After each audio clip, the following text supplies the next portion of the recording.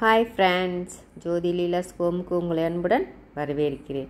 இன்றைக்கி எல்லோருக்கும் பிடித்தமான மட்டன் கிரேவி செய்யலாங்க. இந்த கிரேவி இட்லி தோசை சப்பாத்தி சாதத்தோடு சேர்த்து சாப்பிட்டா ரொம்ப நல்லாயிருக்கும் வாங்க கிரேவி ரெடி பண்ணிக்கலாம். குக்கர் அடுப்பில் வச்சு மூணு ஸ்பூன் எண்ணெய் விட்டுக்கலாம். அரை ஸ்பூன் சோம்பு போட்டுக்கலாம்.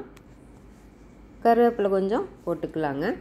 நான் நல்லெண்ணெய் சேர்த்துருக்கேன். நீங்கள் எந்த எண்ணெய் வேணாலும் சேர்த்துக்கோங்க. பெரிய வெங்காயம் ஒன்று கட் பண்ணி வச்சுருக்கேன். அதையும் சேர்த்துக்கலாம். பச்சை மிளகா ரெண்டு. எல்லாம் வணக்கி விட்டுட்டு ஒரு ஸ்பூன் இஞ்சி பூண்டு விழுதையும் சேர்த்துக்கலாங்க. மஞ்சள் தூள் கால் ஸ்பூன் போட்டுக்கலாம்.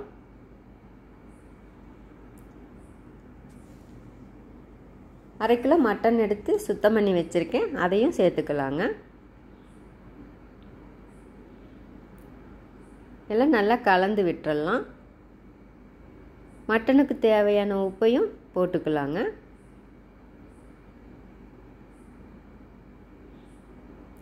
அரை கிலோ மட்டனுக்கு ரெண்டு டேபிள் ஸ்பூன் கறி மசால் போட்டுக்கலாங்க. மசாலையெல்லாம் நல்லா கலந்து விட்டுறலாம். ஒரு ஸ்பூன் வரமிளகாத்தூளும் சேர்த்துக்கலாங்க. சின்ன வெங்காயம் நூறு கிராம் கால்முடி தேங்காயும் வதக்கி அரைச்சி வச்சுருக்கேன். அதையும் சேர்த்துக்கலாம். எல்லாம் கலந்து விட்டுட்டு மட்டன் மூழ்கிற அளவுக்கு தண்ணி ஊற்றி நல்லா கொதிக்க விட்டுடலாங்க நல்லா கொதித்ததையும் குக்கரில் அஞ்சு விசில் விட்டு ஆஃப் பண்ணிக்கலாம்.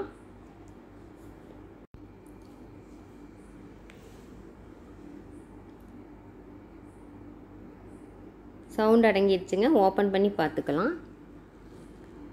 கிரேவி சூப்பராக வந்திருக்குதுங்க.